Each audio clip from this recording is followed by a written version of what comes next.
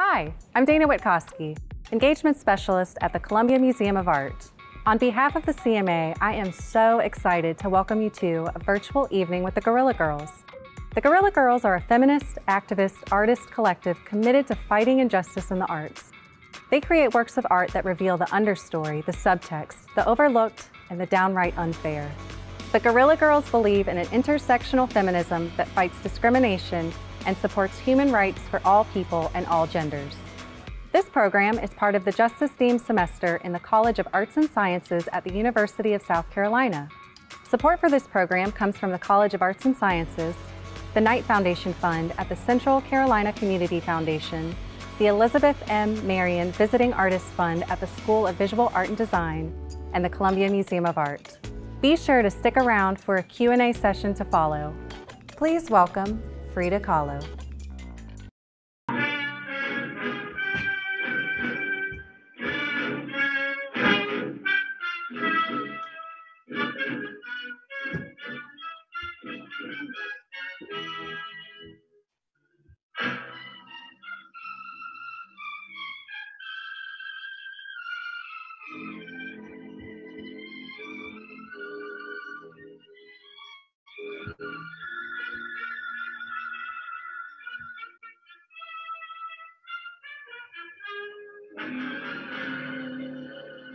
What's very good about our image is that when you look at our masks, you think of what we stand for. And we stand for the conscience of the art world. And we feel that there, there is underrepresentation of women and minorities. And when you see our logo, basically, when you see our face, that's what we stand for, and it's not personal.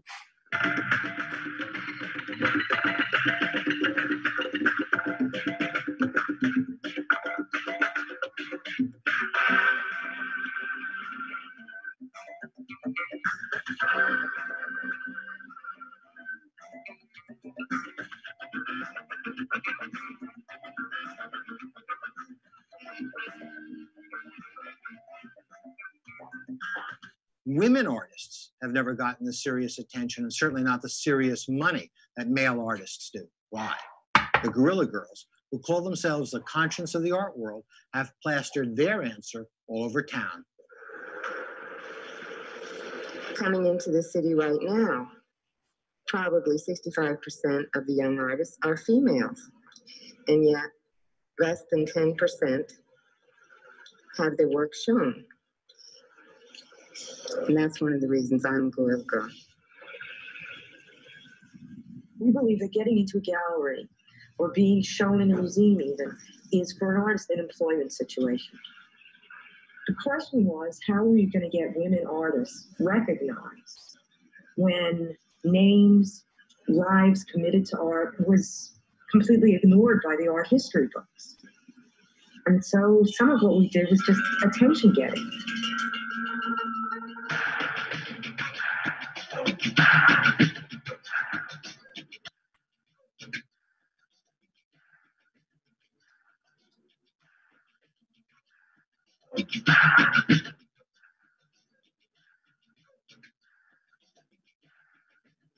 We're, we're anonymous do-gooders like Robin Hood, Batman, Zorro, and the Lone Ranger.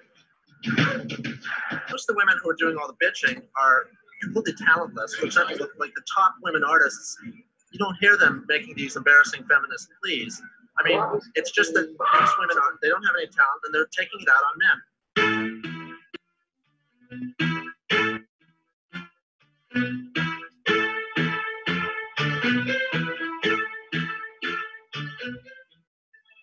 If everybody who attended the Museum of Modern Art this year went up to the information desk and said, gee, where are the women artists?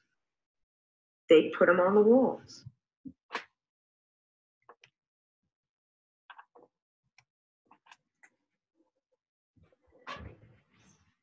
Hey everyone, I'm Frida Kahlo, and I'm very concerned with the protection of my masculinity.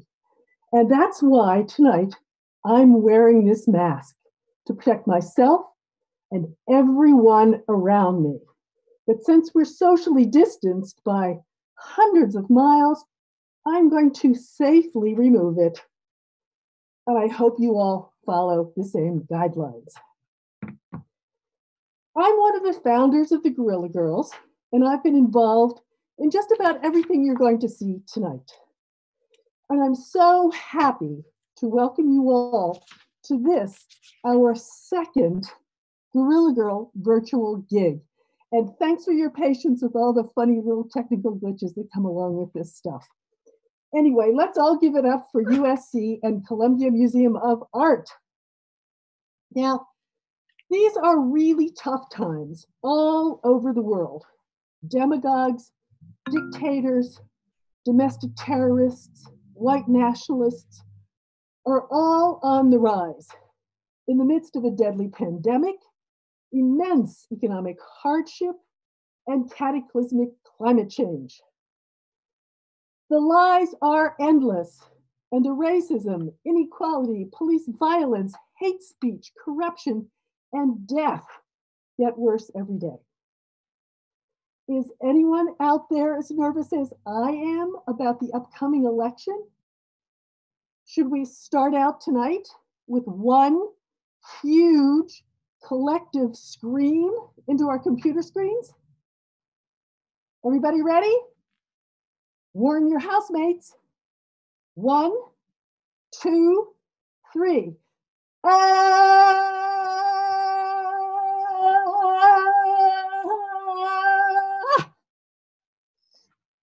Oh, didn't that feel good? Let's, here's a poster that we did in 2016, right after the election of Donald Trump.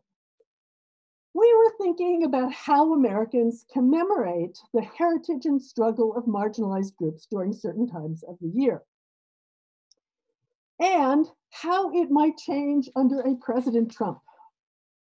Now, the Guerrilla Girls are known for political humor, and this poster seemed ironic in the aftershock of the election. But four years in, it's not very funny anymore because a lot of this is really happening.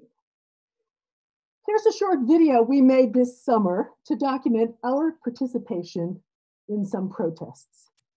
And it's not very funny either.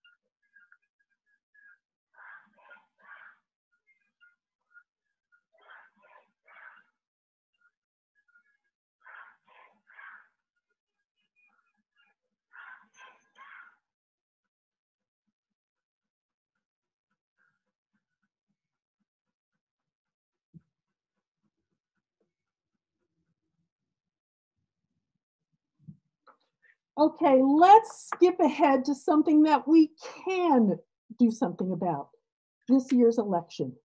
It just happens to coincide with the 100th anniversary of the 19th Amendment, which in theory gave women the right to vote. But we know that the early suffrage movement was rife with racism, and Indigenous people on whose occupied lands we all stand right now didn't get the vote until much later. Black and brown votes continue to be suppressed, and many states still take away voting rights permanently from anyone who has been incarcerated. But this year, let's all vow to be vigilant and work in whatever way we can to make sure that universal suffrage for all Americans is a reality and that every vote is counted. But let's move on to our creation story. Imagine it's 1985. You're a female artist in New York. And when you look around, you see that almost all the opportunities in the art world are going to white men. Imagine the Museum of Modern Art opens a survey of international art with 169 artists and only 13 women and eight artists of color. you go to a protest outside the museum and you realize that no one going into the museum even cares. You ask yourself, what would it take to break through this misconception that the art system is a meritocracy in which all of the critical filters, the curators, the dealers, the critics, and especially those wealthy art collectors always know what's best. Imagine right then and there, you decide you must find a way to show that art history is incomplete without including all the voices that make up our large, teeming, diverse, and beautiful culture. So you dream up a new kind of street poster, an unforgettable, in your face poster meant to wake people up. You call a meeting of some equally angry friends. You choose to be anonymous. You name yourselves Guerrilla Girls. You decide to wear gorilla masks and you take the names of dead women artists as pseudonyms. In a couple of weeks, you're sneaking around New York in the middle of the night carrying stacks of posters and buckets of glue. These posters hanging around art galleries ignite a public discussion about racism, sexism, and eventually corruption in the art world. Over 60 individuals come in and out of the group. They're cis, lesbian, transgender, they're diverse in age, sexual orientation, economic class, and from many ethnic backgrounds. South Asian, Asian, African American, Latinx, European, etc. Hundreds of posters, billboards, street banners, stickers, and books follow, not just about the lack of diversity in art, but also in film, politics, and pop culture.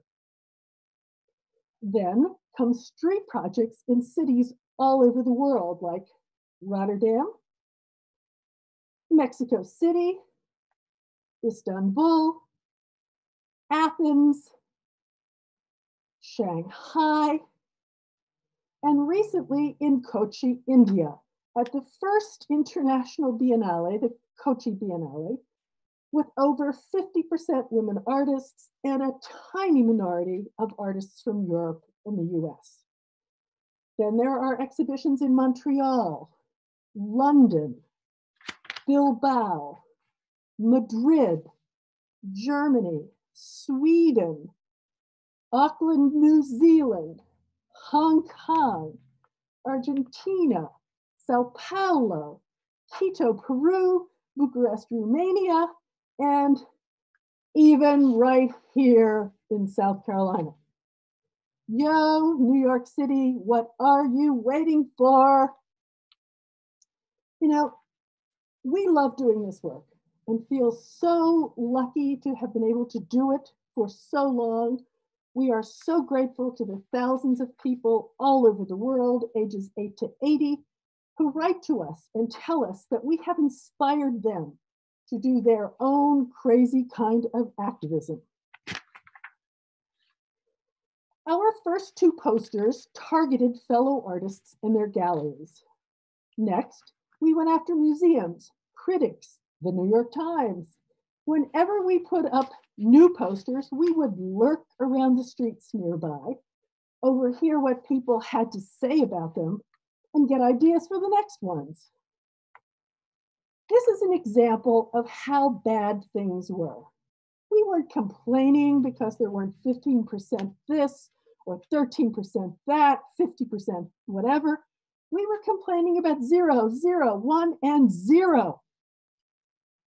And it was harder for women artists of color. So we did this early intersectional poster. Actually, it, it sort of introduces something we picked up later, which was the idea of tokenism. But going back, soon the word on the, week, the street was that the Guerrilla Girls were a bunch of whining complainers. So negative. we took this criticism to heart and decided to do a poster to help artists be more positive about their situation.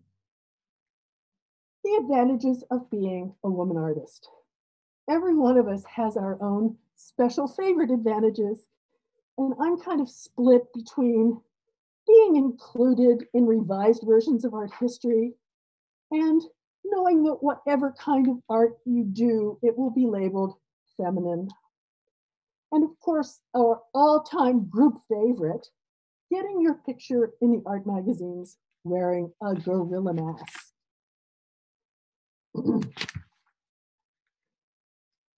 we, we're pretty sure you have your own favorite too.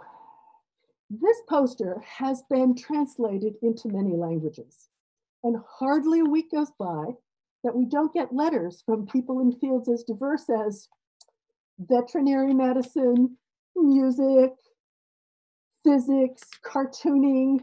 We even got a letter from someone studying mortuary science telling us that this poster is the story of their lives too.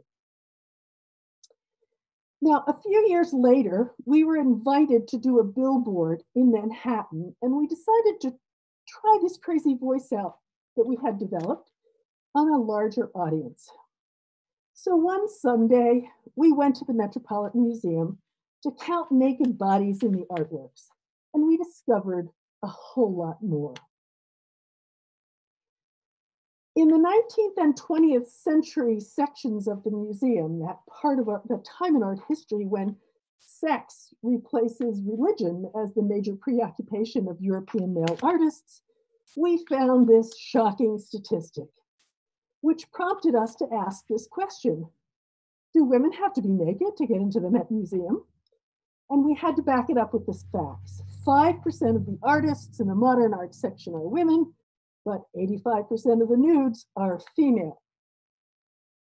Now, we like to think that our work has changed the way curators think. So we went back to the Met a couple of years ago just to see what had changed. And this is what we found. Fewer women artists, but more naked males. Should we be satisfied with this as progress? By the mid 1990s, the buzzword in the US art world had become multiculturalism. Art institutions everywhere were playing catch up, showing one or two artists from each of the marginalized groups they had previously excluded. But what we noticed is that most museums ended up showing the same small handful of artists over and over again. So we decided to do a campaign about tokenism, the practice of exhibiting one woman artist, one artist of color, one gay or trans artist, and then considering the problem of diversity solved. We wanted to ask a larger question. Is tokenism a solution or a continuation of the problem of exclusion? And every one of these things happened to members of our group. And each of us has our favorite.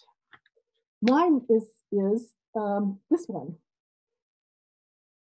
At parties and openings, everyone ends up telling you their interracial, gay, or transgender sexual fantasies. Over the last decade, we have been busier than ever, but we've been, we've been faced with a huge dilemma. What do you do when the system that you've spent your whole life attacking suddenly embraces you? In 2005, we were asked to do a large scale installation at the Venice Biennale.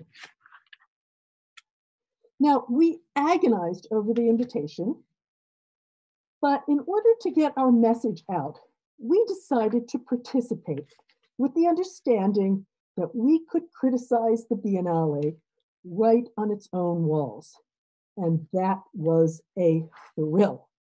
Here's what we did a series of 17 foot high banners that were at the very entrance of the group show in the Arsenale. First, we took on the Biennale itself. We wanted to document 110 years of discrimination. but we also wanted to declare it the first feminist biennale. Why? Because in all of the years of the Venice Biennale, there had never been any women directors until then. This was the first show ever organized by women. And surprise, it, it had the highest number of women artists ever. Then we took on the historic museums of Venice because they all did have work by women in their collections, but where was it kept? Not in the galleries. It was all in the basements. So we made fun of them with this poster based on the iconic Fellini film La Dolce Vita. And we asked the question where are the women artists of Venice? Underneath the men. And then in the small print, we encouraged um, all the viewers to go to the museums of Venice and tell the directors they wanted to see more women on top. In 2008, the Washington Post gave us a full page as part of a special section on feminism and art. We designed this tabloid to reveal the shocking, shocking truth about the low, low number of women artists and artists of color in the US National Museums supported by taxpayer dollars on the mall in Washington. And it was to include the fact that at the time, the National Gallery of Art didn't have one artwork on display by an African American artist. So when the Post called to fact check this, the National Gallery went bananas, then called back the next day to say that, oh, the Post was mistaken because just overnight they were in the process of installing a Martin Puryear sculpture. By the way, this is how bad things were at our taxpayer supported museums in Washington. As recently as 10 years ago, the National Gallery of Art, 98% male and 99.9% white because of one sculpture.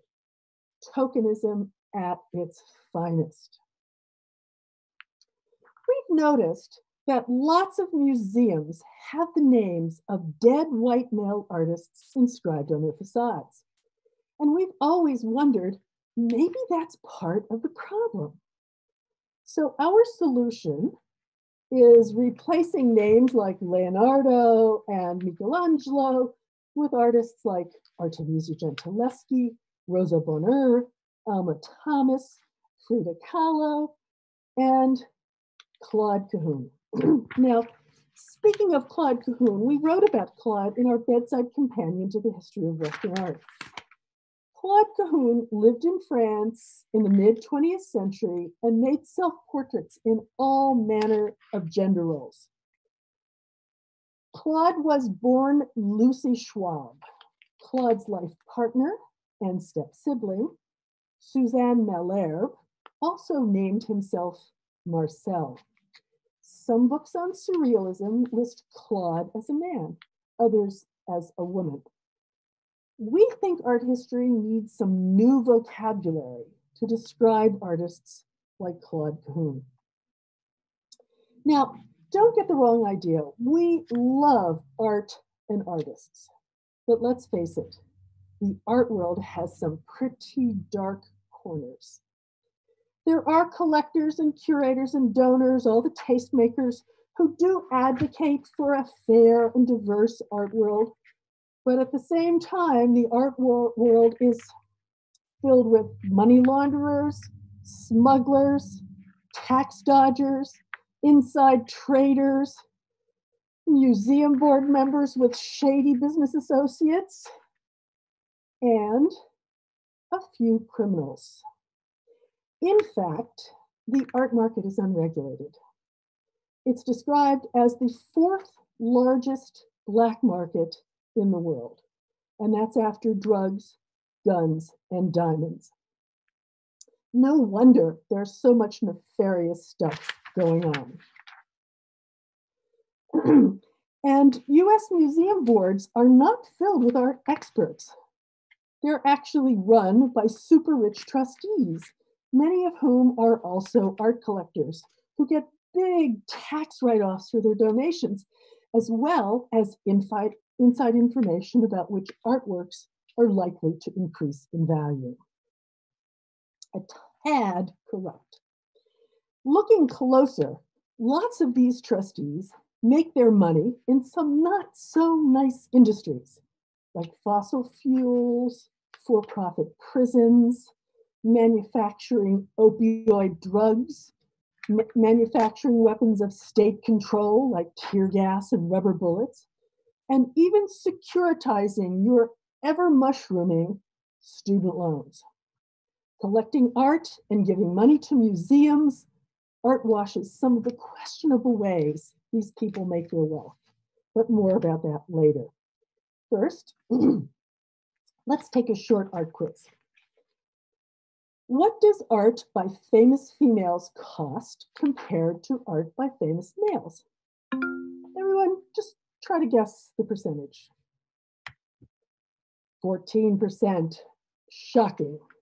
The highest auction sale ever for a living female artist, $12.4 million for a Jenny Saville painting, which happened to be a nude female, was only 14% of the record price of 90.3 million paid for a David Hockney.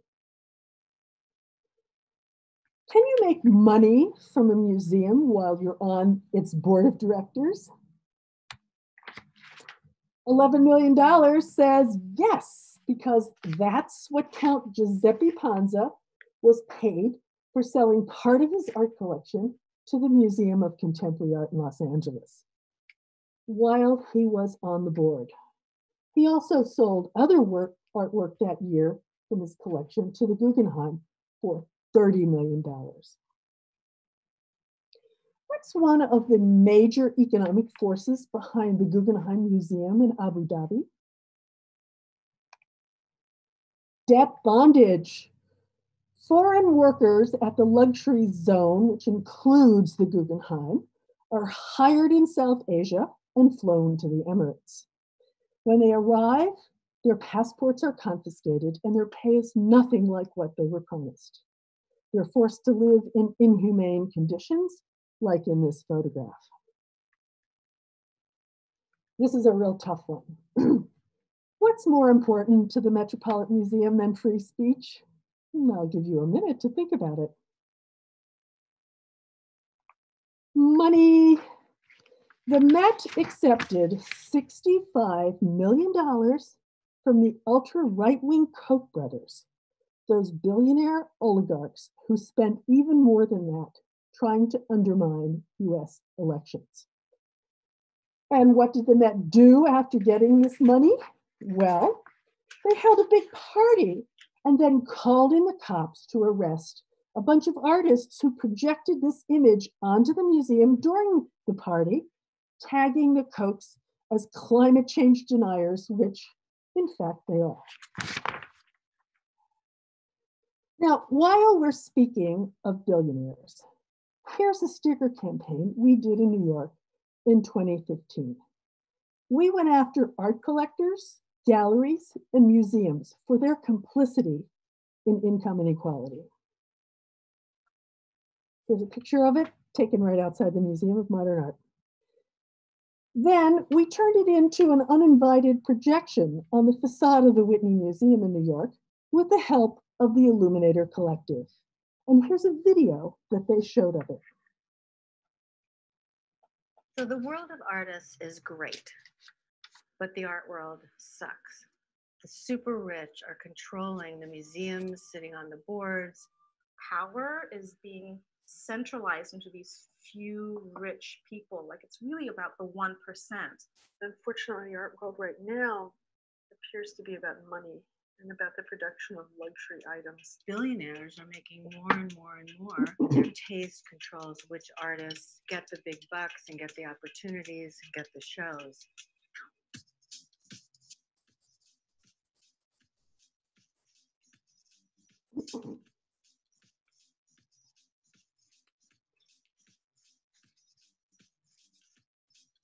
planning to sneak around New York with the Illuminator. So we'll be starting out in Chelsea and we hope to then go to the Whitney. So we had this idea to do something we could do really fast around New York and put these stickers up. Some of the stickers are about art galleries, about billionaires, billionaire collectors, and about museums.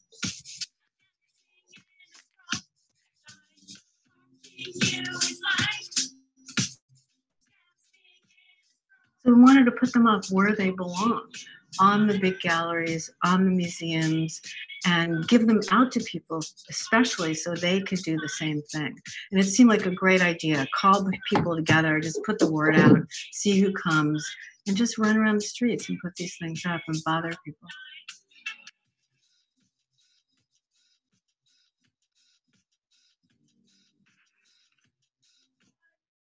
It's going to be a Saturday in Chelsea.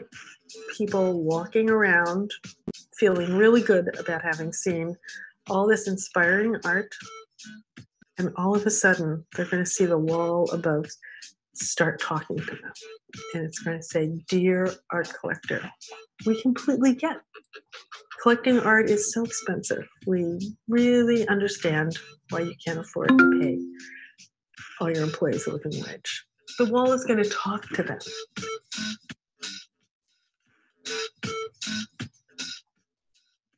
Every time we put something up, you know, people would go bananas.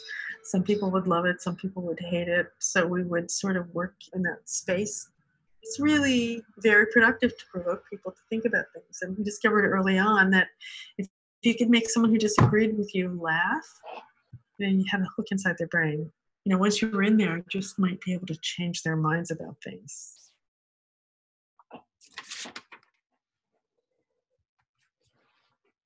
Well, I guess you've figured it out. We believe that museums could use some new work ideas. so in 2016, we created the first ever Guerrilla Girls Complaints Department at Tate Modern Museum in London. And over a week's time, thousands of people came to complain about art, gender issues, racism, politics, and the museum itself. Our complaints department traveled to Brazil the following year, and here's where we really want to install it. And speaking of the power of collective complaining, the past few years have witnessed protests that have forced museums to make some ethical decisions. And here are some examples of protests that we have participated in, but have been organized by other artist collectives. The museum agreed to refuse, the Guggenheim Museum agreed to refuse money from the Sackler family that manufactures and pushes opioids. Warren Kanders, who manufactured the tear gas used on the refugee children and families at the Mexican border, was forced to resign from the board of the Whitney Museum. and there have been demonstrations at MoMA to divest itself of prison stock and to expel board member Larry Fink, whose hedge fund is heavily invested in student debt derivatives and also for profit prisons. He hasn't resigned yet, but we're still working on it. We look at this look at it this way. If the wealthiest country in the world is stuck with a system where the only way to fund culture is through philanthropy from the very rich, then maybe institutions should only accept funding from individuals whose businesses make the world a better, not a worse place. In terms of changing museum culture, this past spring, museum employees have started this Instagram account, Change the Museum, to tell their anonymous stories of racism, sexism, and harassment in the workplaces they know the best. And all of these developments have convinced us to revisit this code of ethics for art museums, which we made in 1989. We updated it and turned it into a monument that we think should travel around to museums everywhere. Here it is as we imagine it living in the sculpture garden at MoMA and this actually appeared in a magazine spread recently. We use the publication to call out museums that have used the pandemic to break unions, unions that have demanded living wages and decent benefits for their staff. At the same time, museum directors make million dollar salaries. And here it is living in the Koch Plaza at the Met. And you might notice that it is written in biblical language. Allow me to read the final commandment. Thou shalt admit that if thy museum does not show art or hire staff as diverse as the culture thou claimeth to represent, thou art not showing the history of art, you're merely telling the story of wealth and power. But let's step away from the art world for a minute and look at an industry that can be just as bad Hollywood. Even though the film industry wants to think of itself as edgy and progressive, if you look closely, there's really not enough diversity. So for several years, we rented billboards in Hollywood, just a few blocks from where the Academy Awards are held, and during the time that the Academy Awards were given. And in 2002, we decided it was time to put a little realism into the Academy Award. So we redesigned the Golden Boy to look a little bit more like the guys who took him home. Now, that was the very year that Denzel Washington and Halle Berry won Oscars for their performances. Sometimes we like to joke that maybe our billboard had something to do with it. And here's an update of the same poster that we did in Minneapolis in 2016 at the height of the Oscars So White campaign. So much fun to recycle these things. And last year, we updated this 1999 sticker that compared Hollywood to the Senate, only to realize that while the Senate has actually improved a little bit, Hollywood has actually gotten worse. And here's something that we did about another pressing social issue. It's a street post that we did in Montreal about misogyny and violence against women that appeared on the 20th anniversary of the worst mass murder ever in Canada when a gunman claiming he was fighting feminism killed 14 women studying engineering at the École Polytechnique in Montreal. Our poster is a pretend graffiti wall of sexist hate speech through the centuries.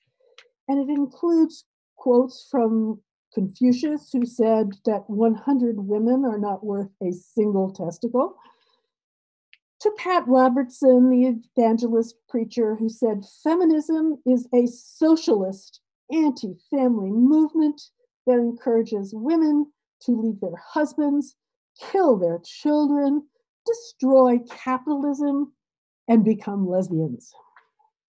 It struck us that it's still okay to publicly say things about women and trans women that wouldn't be said, tolerated if said about other groups. Case in point Donald Trump, who brags about grabbing women by the genitals, calls them fat pig slobs, dogs, disgusting animals, and, and uh, low, low IQ dogs. He is particularly cruel and racist towards women of color.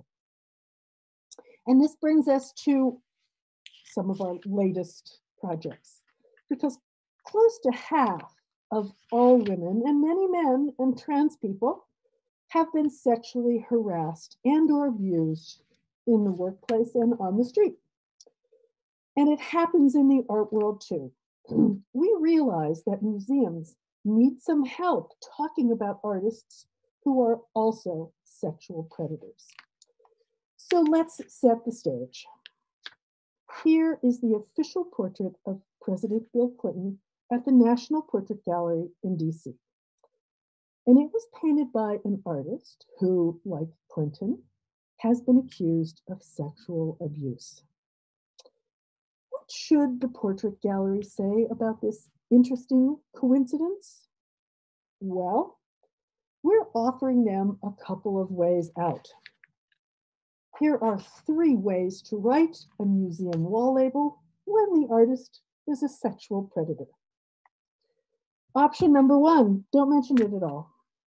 Chuck Close is one of the most important artists of his generation and the creator of a new kind of portraiture consisting of patterns of color.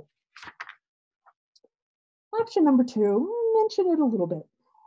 Chuck Close is one of the most important artists of his generation and the creator of a new kind of portraiture consisting of patterns of color. Like many artists, he has had a few disgruntled employees. Number three, be straight up honest. Chuck Close has had a huge career with prices to match. He's been accused of sexually abusing models and students he picks up at fancy art schools. How fitting and ironic that he, he painted the official portrait of Bill Clinton. The art world tolerates abuse because it believes art is above it all and rules don't apply to genius white male artists. Wrong. This project has caused all hell to break loose. It has been politely turned down again and again for exhibition. And last fall, we put up this poster on a phone booth right outside the newly renovated Museum of Modern Art when it had the nerve to reopen after an elaborate renovation with two galleries, two new galleries, named for donors with close and unexplained ties to Jeffrey Epstein. Epstein, by the way, used the art world for years to art wash his criminal behavior, trafficking underage girls. He even picked up some of his young victims at art schools. And this brings us to our latest project, which we are so excited about, and it will premiere in London as soon as it is safe to travel internationally. And here it is.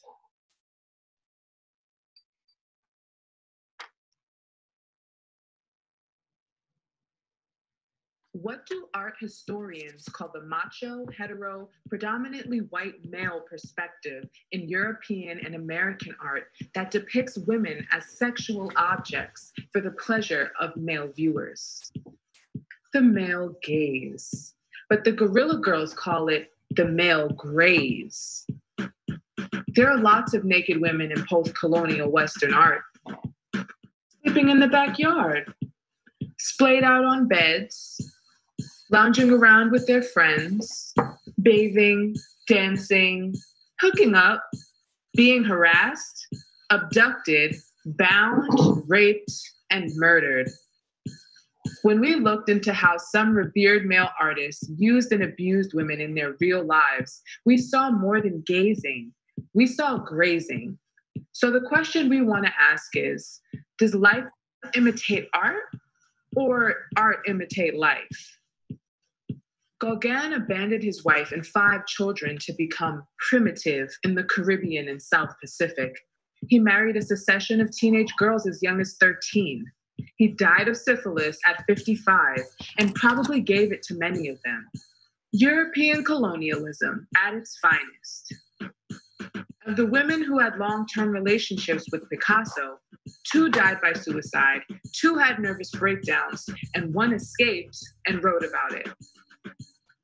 In 1950, sculptor Dorothy Dehner decided her husband, sculptor David Smith, had hit her once too often. She loaded her pickup truck and took off for New York to start a career of her own. Smith turned around and married one of his young students. According to the book Ninth Street Women, Hans Hofmann's summer school in Provincetown was a harem. And Hoffman, the bull elephant, who patted his female students on the ass and fucked everything that moved. Lucian Freud admitted to having 14 children by 12 different women. He may have fathered twice as many. He said women go downhill at the age of 16. Sir Lawrence Gowing, principal of the Slade school, pimped for Freud, admitting young girls to the art school who had caught Freud's eye. Chuck Close invited his female students from Yale to his studio to sit for por- portraits. The ones who refused to undress were given $100 and told to leave. The ones who stayed endured prying questions about their sex lives while posing naked. Get ready for the male graze, the Guerrilla Girls take on our culture's enduring love affair with bad male behavior in art. We're preparing a new project for the courtyard of Somerset House for Art Night 2021. We hope to see you there. It just might change the way you think about art forever. What do art has Okay, thank you. Um, let's close the evening on a positive note. The School of the Art Institute of Chicago invited us to deliver the commencement address to the class of 2010 in front of thousands of cheering students and some angry parents. We gave the graduates some surprising and unexpected advice. And afterwards, we turned our manifesto into this video. And here it is. The Guerrilla Girls Guide to Behaving Badly, which you have to do most of the time in the world as we know it. Be a loser. The world of art doesn't have to be an Olympics where a few win and everyone else is forgotten. The art market and its hyper competitive celebrity culture makes everyone but the stars feel like failures. But there's another world out there that's not about raging egos, a world of artistic cooperation and collaboration. That's the one we join, and we invite you to join it too. Let's make trouble together. Be crazy. Political art or activism that points to something and says, this is bad, is just preaching to the converted. Instead, try to change people's minds and do it in some unforgettable way. A trick we learned is humor helps you fly under the radar. If you can get people who disagree with you to laugh at an issue, you have a hook right into their brain. Once there, you have a much better chance to convert them be anonymous. Sometimes you got to speak out publicly, but sometimes it works even better to speak out anonymously. Now, this has its disadvantages, like working your whole life without getting any credit, but it has lots of advantages too. Our anonymity, for example, keeps the focus on the issues and away from our personalities. The mystery of who we might be draws lots of attention to the issues we promote. Plus, you won't believe what comes out of your mouth while wearing a gorilla mask. Be an outsider. Even if you're working inside the system, we say act like an outsider. Seek out the understory, the subtext, the overlooked, and the downright unfair. Then expose it. Jam your culture. Remake your institution. Just do one thing. If it works, do another. If it doesn't, do another anyway. Don't be paralyzed if you don't get it right every time. Just keep chipping away. We promise that bit by bit, your efforts will add up to something effective. Artists, don't make only expensive art that billionaire art collectors can afford. Curators, don't exhibit only the expensive art your trustees donate. Let's have more cheap art that everyone can own, like books, zines, music, and movies, like our posters. Show museums tough love. It's unethical that wealthy art collectors who invest lots of money in art can become museum trustees, overseeing institutions that in turn validate their investments. It's a lousy way to write and preserve our history. Demand ethical standards inside museums. No more conflicts of interest or insider trading. No more cookie cutter collections of art that cost the most. Convince art collectors their collections are inferior with only work by white male artists. Don't let museums perpetuate this version of art and power with a few tokens thrown in. Make sure your favorite museum casts a wider net and collects the whole story of our culture. Whether you work in a museum or a classroom, don't teach an art history constructed by corrupt institutions. Do like we did, write your own. Complain, complain, complain. Be a creative complainer, be a professional complainer. Don't assume people know what's missing from museums. Remind them how many modern and contemporary art collections still contain less than 15% females and artists of color. Use the F word, feminism. We think it's crazy that so many people who believe in the tenets of feminism are still afraid to call themselves feminists. Feminism doesn't get the respect it deserves. Women's rights, civil rights, lesbian, gay, bisexual, and transgender rights, and Black Lives Matter are the great human rights movements of our times. Feminists like us who believe in intersectionality fight for all human rights. No one is free until everyone is free. Feminism is changing the world. It's revolutionizing human thought, giving many people lives their great grandparents could never have imagined. But there's still so much work to do. There are so many countries worldwide where LGBTQ people and women have little or no human rights. 90% of transgender employees have faced discrimination or harassment at work. In the US, no federal law protects them, even though nearly 80% of voters support such a law. Then there's rampant sexism in the tech industry, including the harassment of female gamers. And what about the gender earning gap that the US Congress refuses to move against? Violence and abuse against women, gay, and transgender people is still a huge international problem. From gang rape in India to kidnappings in Nigeria to sexual slavery by ISIS to the negligible punishment given out for domestic violence in America. Trans women are assaulted and even murdered in the US. But despite all this bad news, feminist resistance movements are exploding all over the world. Let's make the F word feminism the F word for the future. Let's all join together with feminists on the right side of history.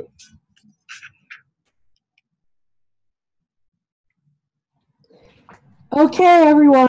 Uh, thank you so much for your patience, and especially with these weird little glitches, and you only saw half of them.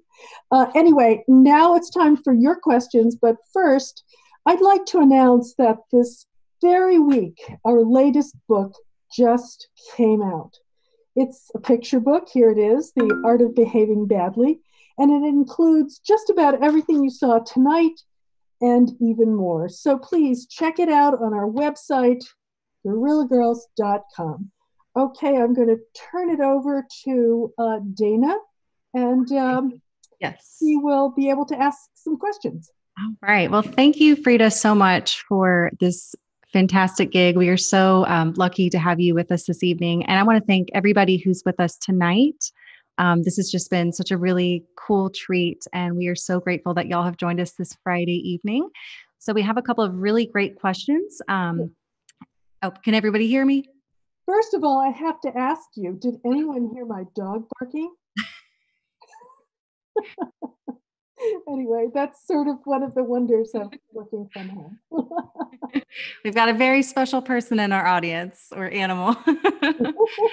All right. So the first question is How do you see your work as part of the continuum of activist art from the 90s to today? Uh, well, we we just do see it as part of a continuum. When we first started, I think the art world was living on a hangover of formalism. And there was this idea and it was it, it, was even taught in schools that art had nothing to do you know with politics. I remember one of my professors who was an abstract expressionist second or third generation looking at me and saying you'll never change the world with your art so just get used to it um, and i think that bit by bit um, i think that's really wrong i mean art especially modern art in the 20th century, has been profoundly political, uh, especially in Europe. Um, and I think it's just taken a while for the art world to get past that. And of course, the art market doesn't want to think that art's too political because, um, you know, wealthy collectors want something neutral to put behind, you know, to hang behind their sofas. Great answer. All right. So we've got um, Frida, how much time do you think we have for these Q and A's? Because I keep getting a, a, bunch of really great ones. I just hey, want. I got the whole evening. as long right. as my dog doesn't. Uh, well, anyway, you could see my dog. She's good. All right, so we've got another question. Um, so the Guerrilla Girls have been a group since 1985. How do you measure the success of your activist work? Well, I, I, don't really do that too much. I just think ahead um, rather than behind. And, you know, these, you should also realize that every Guerrilla Girl would give you a different answer to these questions. Um, I think that we were instrumental in uh, making it impossible for uh, critics and curators and historians to think that the history of art could be written with only the work of white males. Um, uh, I think that that, that is probably uh, the thing I'm most um, proud of. And I think this new work we're doing with the male graze, um, I'm hoping that it'll take that a little bit further. It's hard to go into a museum right now and not start to count how many women and how many artists of color there are being shown. And we were part of the movement that created that awareness. Uh, I'm hoping with the male graze that we will start to see how um, sexual assault and sexual violence and sexual domination is right there implicit in the history of Western art. It's right there in the art. And um, I guess we shouldn't be surprised that the, the, uh, the male artists behave so badly. Um, and this is not to moralize about it, but just to state it as a fact of the content of the art. So that's, you know, that's sort of my my goal, my future goal. Mm-hmm. I like that. All right. So I've got a, let's see here. I've got a couple of really great ones. All right. So can you speak to the illumination that you and the other Guerrilla Girls have had by virtue of knowing or encountering the same people and institutions under both your known and masked identities? Um, you mean how how do people how, how do people in museums uh, respond when you're a guerrilla girl versus when you're just an ordinary artist? I think I think that's yeah, that's how I'm reading it as well. I remember uh, I remember calling up Richard Armstrong the first time he was at the Guggenheim as a guerrilla girl, and he answered the phone right away. But it took him weeks to send back my slides when I sent them earlier.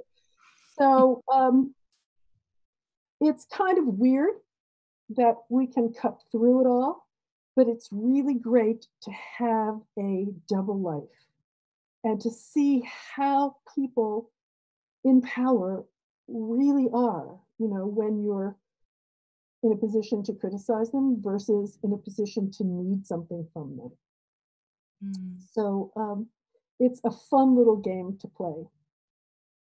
I like that. I've definitely wearing a mask these past eight months. I've, yeah, you can kind of get away with a lot of things when people don't recognize you. All right, uh, let's see. This one, this one's a little bit longer, um, but I liked it a lot. All right, so do you think cultural institutions use the aesthetic, aestheticization of your work to dilute your message? By embracing you, they make you art and are you ever worried that by becoming art, partially by exhibiting ephemeral, ephemeral sorry, interventions like posters and stickers, it erases the effectiveness of the protest? Well, first of all, I don't think ephemeral things are, um, you know, lack uh, uh, impact. In fact, the great thing about making things that are ephemeral or that can be reproduced, you know, infinitely is that they can exist everywhere. Whereas a, you know, a very precious and valuable painting can only exist in one place at one time, and it can be controlled by the person who owns it. Uh, you know, we're happy when thousands of our posters are hanging in college dormitories. Um, so, first of all, I don't think that the fact our work is ephemeral and it's reproducible um, has anything to do with its impact. I think it increases its impact. As for being in museums, well, you know, a really good military tactic is to attack the enemy from all sides. And we used to do it from the streets, we still do. Um, and now we get the opportunity to do it from the inside because there have always been really well intentioned people inside museums who have been afraid to speak up for fear of jeopardizing their careers. And we're really happy to go in and do the dirty work for them um, so that they can just say, oh, those guerrilla girls, we just could not predict what they were going to do. Um, and we're just, we've sort of invaded, you know, invaded the institutions. So I don't think, um, although I, you know I'm sure there are people who would argue the opposite. We don't feel that our work has been aestheticized because it's still pretty rough. And we kind of think of it as a time bomb, you know, a little bomb sitting on the wall.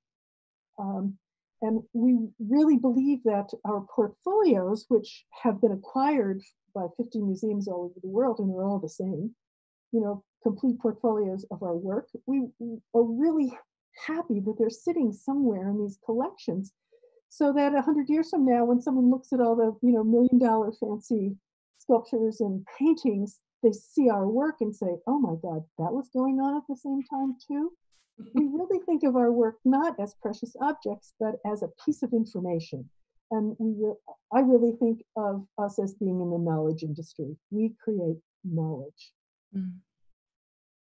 Right. So we've got, well, we just had a couple more come in. All right. So I, let's see here.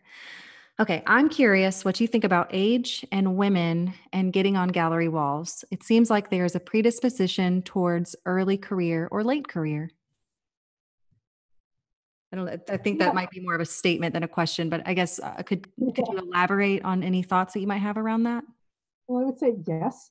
Uh, art world has a great way of promoting and um, branding things. And right now, the art world is really happy to find a few older women who were forgotten in their lifetime and, and, and, and sort of rediscovering them and uh, you know giving them all kinds of opportunities which i'm really happy for mm-hmm. but the problem with an art world that's based on the art market and on uh, capitalism is that there can only be a few winners and lots of losers. And we know that culture is more rich than that, that there are many, many different stories.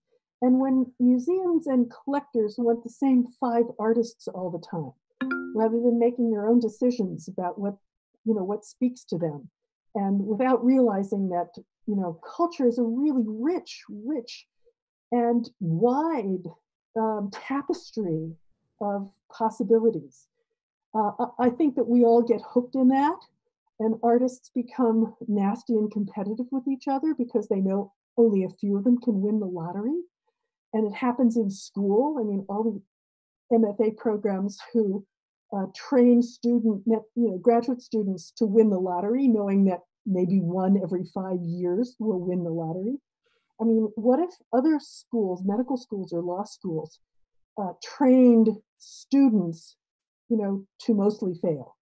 Um, the art world is problematic as, as we know it. We really need to, to create more diverse art worlds. And then, and then the work will stand on its own. And actually, the older an artist gets, the more you know work there is, there the more content there is, and the richer, greater, longer story there is to tell.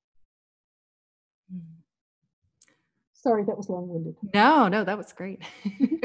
this is what we want. All right, so let's see here. Um, okay, so why why do you think that the word feminism has such a negative connotation, and what can we do to get rid of that negative connotation, and maybe even convince people that feminism is a good thing? Well, it has a bad reputation because people are threatened by it. Mm. Um, uh, you know, a lot of men and a lot of women too who feel protected by, uh, you know, patriarchal uh, structures or women who, you know, uh, are in a way uh, uh, internally oppressed, not realizing it. They reject feminism because it's it challenges, you know, the, the, mainstream, the structure, social structure. Um, and I think a lot of women think it makes them you know, unattractive or unfriendly or, uh, you know, they won't be liked if they're, you know, if, if they're strong, you know, strong voiced. I mean, all you had to do was watch that debate the other night between Kamala Harris and, and Mike Pence to realize the privilege he thought he had to speak over the moderator, who was a woman, and to interrupt his uh, his debate partner, who was a woman, and to take more time and more air than he was allotted, uh, to realize how threatened many, many people are by women uh, claiming their power. Uh, and we all know women have had power for a long time. We've got a, a great deal of power. We have the power of reproduction. Um, so I'm not sure how to change it.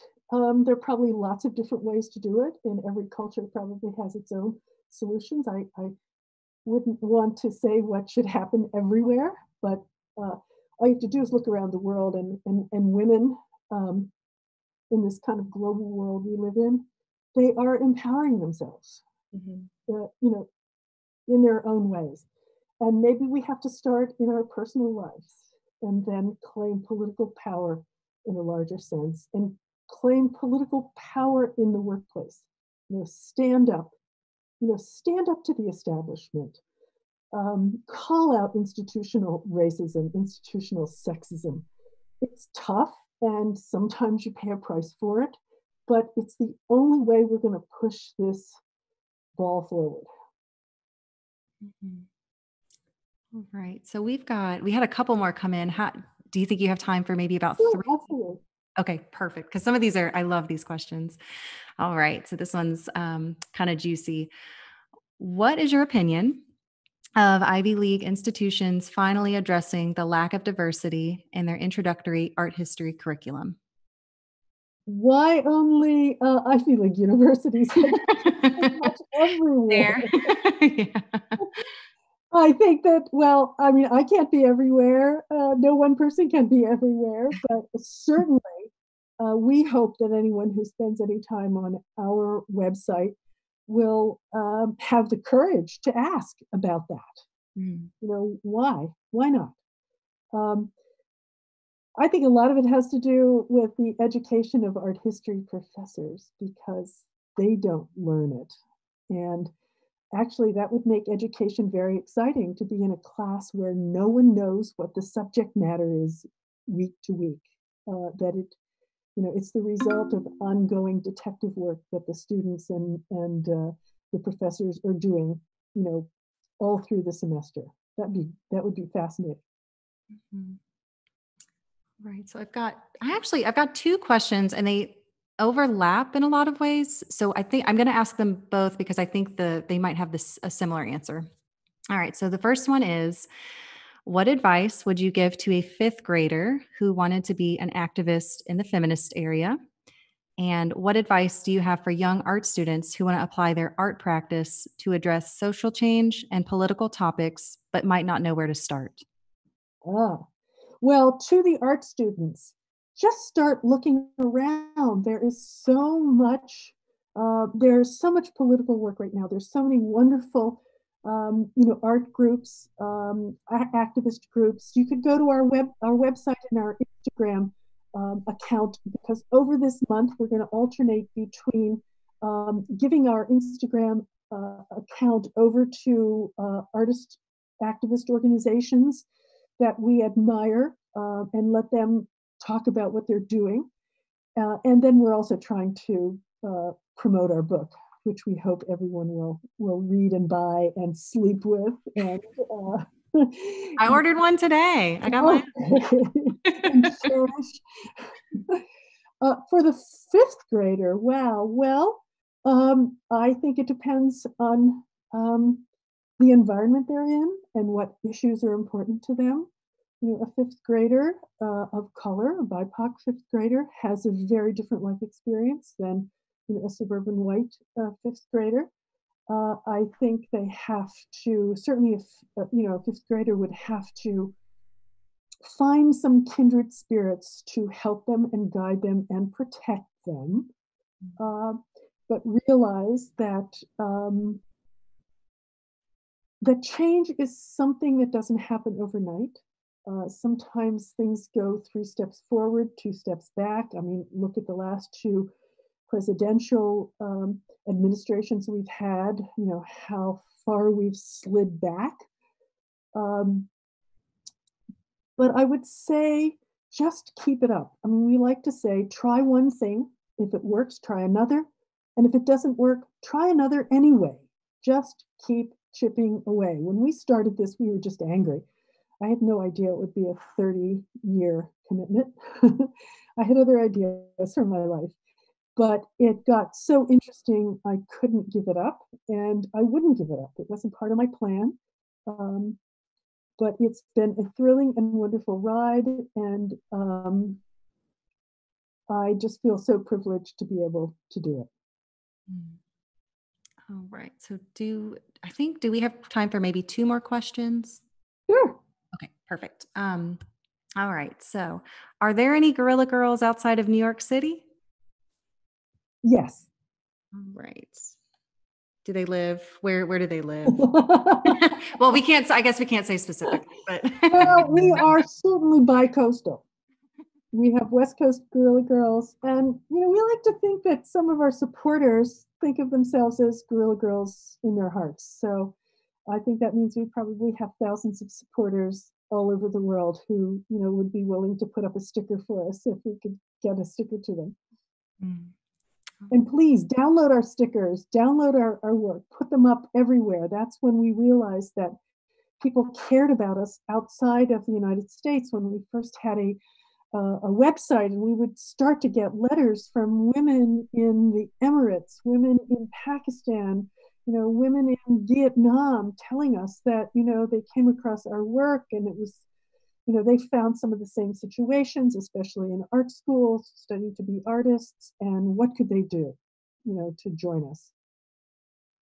All right. This is a really good segue into. Um, I've, I've gotten this question about six times, so I have to ask it.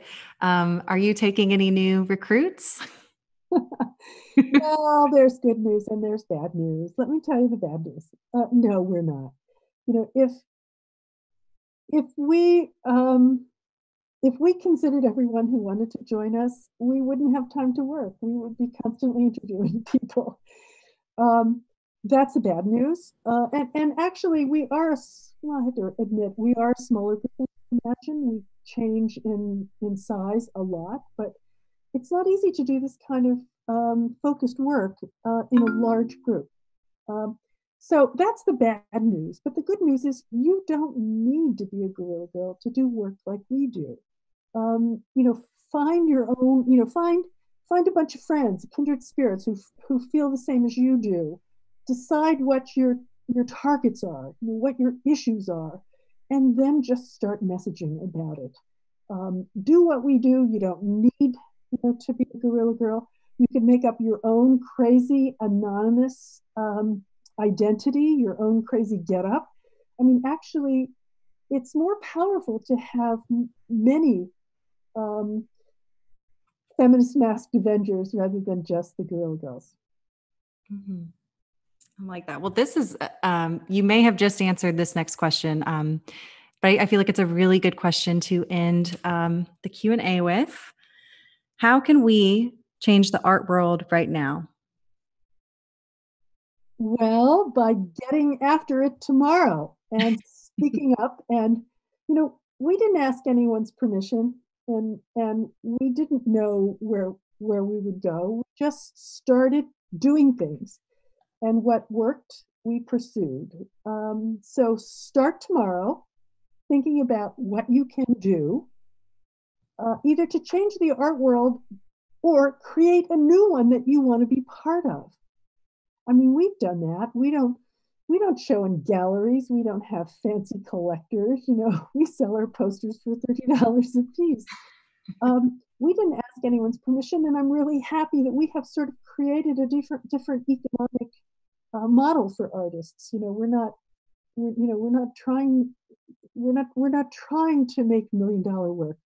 We just want to, we want to get our our message out in whatever way we can. So, um, I would say if you don't like the art world you're in, make an art world that you want to be part of.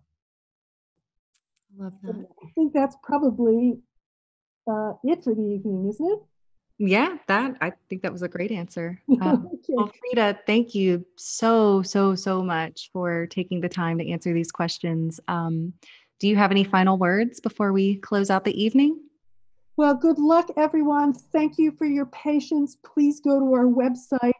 Good luck with whatever efforts you are uh, involved in to change the world. And don't forget to vote. very important this year, especially in South Carolina. Now, I wouldn't dare tell you how to vote, but I'm sure you know what I'm thinking. bye bye.